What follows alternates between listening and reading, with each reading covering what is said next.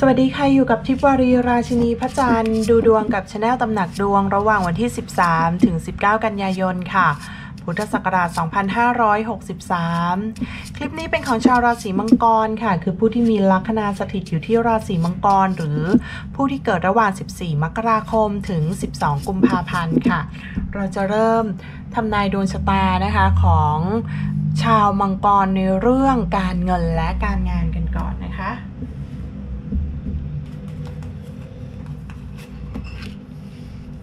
คะค่ะไพ่ใบแรกวันนี้นะคะได้ชาริออตค่ะของชาวมังกรนะคะ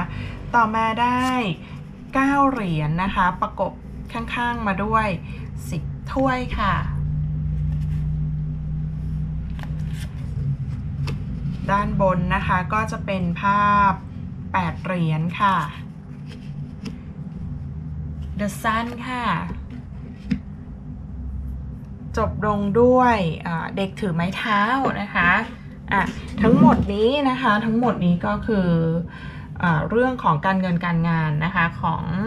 ชาวราศีมังกรนะคะ ทีนี้เพื่อความเสมอภาคกันเราเล่าเรื่องพระราหูสักนิดนึงนะคะ สัปดาห์ที่ผ่านมาก็จะเห็นว่าเออคนแบบมูเตลูกันเรื่องของพระราหูนะคะ พระราหูย้ายเมื่อวันที่ 10 กันยายน นะคะ เกิดอะไรขึ้นบ้างนะคะสำหรับชาวราศีต่างๆนะคะ ก็อ้นคิดว่ามาถึงสัปดาห์นี้ก็คนที่กลัวพระราหูก็คงจะเช็คกันมากมายแล้วแหละแต่ให้อ้นอ้นสังเกตนะคะว่านิดนึงนะว่าชาวราศีมังกรเนี่ยดาวประจำตัวเขาเป็นดาวพระเสาร์นะคะเสาร์กับราหูนะเขาเป็นคู่มิตรกัน เพราะฉะนั้นพอเวลาราหูโยกย้ายเปลี่ยนแปลงอะ นะคะชาวมังกรเนี่ยมักจะเกิดเรื่องดีๆขึ้นนะคะไม่ไม่ค่อยได้กระทบอะไรมากมายนักหรอกคือ คือถ้ากระทบก็กระทบน้อยนะเพราะว่านอกจากว่าเป็นดาวคู่มิตรกันแล้วเนี่ยก็ยังยังส่งผลอ่าเขาเรียกว่าไม่อ่าราหูกับเสาร์เนี่ยไม่ค่อยมีใครครบเขาก็จะคบกันอยู่สองคนนะเพราะเป็นดาวบาปประเคราะห์นะที่คบกันยากสักนิดหนึ่งก็ต้องดูว่าอ่า ราหูเนี้ยย้ายไปอยู่ภพไหนเรือนไหนนะคะของชาวราศีมังกร ซึ่งในครั้งนี้เองอะนะคะดาวราหูย้ายในครั้งเนี้ยนะคะแล้วอ่าอยู่ราหูอยู่ในตำแหน่งที่ว่าตีโกนกับลัคนา แล้วก็มีดาวพุธนะคะอีกดวงหนึ่งที่ตีโกนกับลัคนาด้วยนะคะ จึงนะจึงทำให้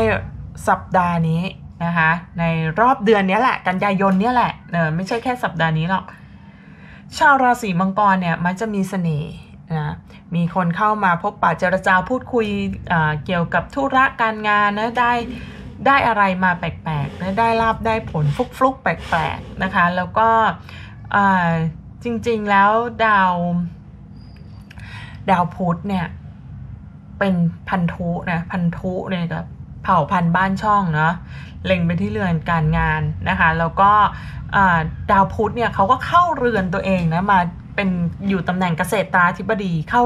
กลับเข้าบ้านตัวเองเนี่ยนะคะ เวลาดาวดวงไหนกลับเข้าบ้านตัวเอง ดาวดวงนั้นก็จะแข็งแรงค่ะ แล้วก็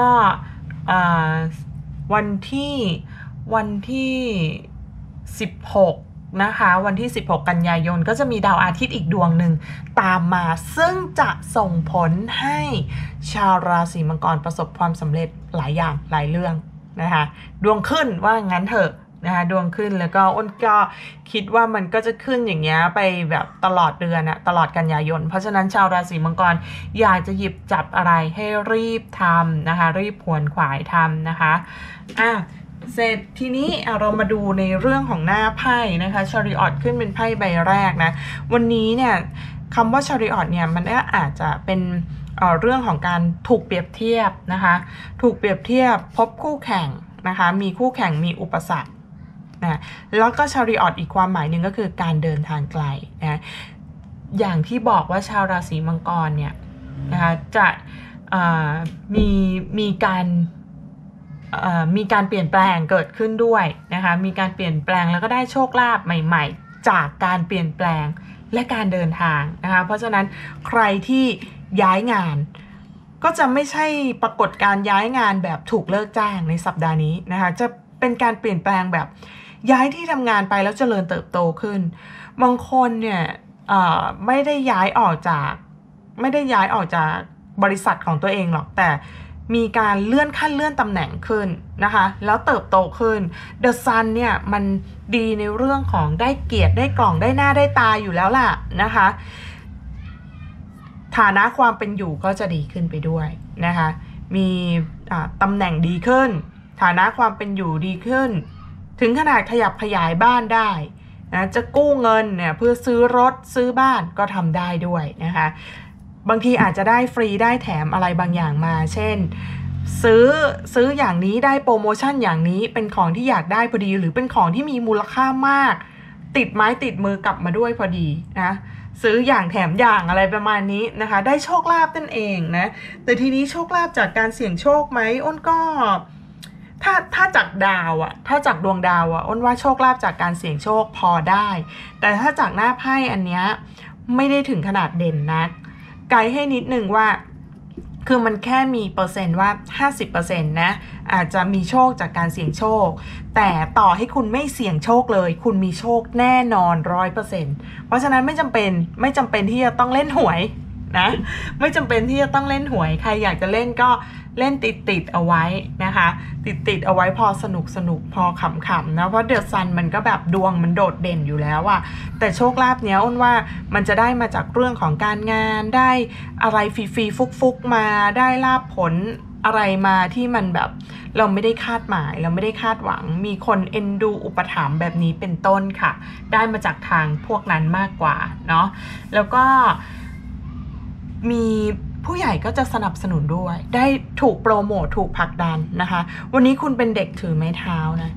ก็คนที่ตกงานมาเนี่ย สัมภาษณ์แล้วก็จะผ่านค่ะ เนี่ยรุ่งเรืองเห็นไหมสัมภาษณ์แล้วก็จะผ่านเกิดความรุ่งเรืองแล้วก็ได้งานทำนะคะ อีกทั้งอีกทั้งในดวงของคุณเองอะนะในดวงของคุณในตามดวงดาว ตามดวงดาวในรอบเดือนกันยายนเนี่ย ถ้าจะได้งานก็ได้มาจากผู้ใหญ่หนุน ผู้ใหญ่ผลักดันผู้ใหญ่เส้นให้นะมีเส้นสายแบบไม่เปิดเผยนะคะเพราะฉะนั้นไม่ต้องกลัวอะไรเลยชาวราศีมังกรกำลังมีเงินเก็บกำลังมีเงินกินเงินเก็บกำลัง อยู่ในช่วงจังหวะขาขึ้นนะคะ ใครตกงานก็จะได้งาน ใครมีงานทำอยู่แล้วก็จะได้เลื่อนขั้นเลื่อนตำแหน่งนะคะ ได้สร้างฐานะความมั่นคง รีบนะ อย่าปล่อยให้โอกาสมันเลยผ่านไปนะคะเพราะรู้ว่าตัวเองดวงดีแล้วแบบมัวแต่เอื่อยเฉยแฉะอยู่นะคะ เดี๋ยวเดี๋ยวพอเวลาดวงตกขึ้นมามันจะซุดนะคะ ให้รีบคว้าโอกาสนะ ให้รีบคว้าทุกๆอย่างที่เป็นโอกาสนะคะ มาต่อกันที่เรื่องของความรักนะคะของชาวราศีมังกร อ้าวเดวิลขึ้นมาเลยเนาะความรักเดวิลนะคะ ด้านข้างเป็น Wheel of Fortune ค่ะ แล้วก็มีเจ็ดถ้วยค่ะ มีราชาดาบขึ้นนะคะ สามไม้เท้าขึ้นค่ะ แล้วก็ Temperance ขึ้นนะคะอ่ามีอาการลังเลนะแล้วอยู่ในวังวนของรักซ้อนนะสัปดาห์นี้นะคะ บางคนน่ะหลุดออกจากหลุดออกจากเจ้ากรรมนายเวรตัวเองไม่ได้ แล้วเจ้ากรรมนายเวรมันมักจะมากับคู่รัก คนรักนะคะ สัปดาห์นี้เนี่ยมีปัญหาเรื่องรักรักสามเศร้า หรือความลับที่คุณเก็บงำมาไว้ ที่คุณไม่อยากจะเปิดเผย ไม่อยากจะบอกนะคะส่วนใหญ่ความลับในในเรื่องของความรักนี้ ความลับที่มันเกิดขึ้นกับความสัมพันธ์มันมีแค่สองเรื่องแหละเดวิลบอกว่า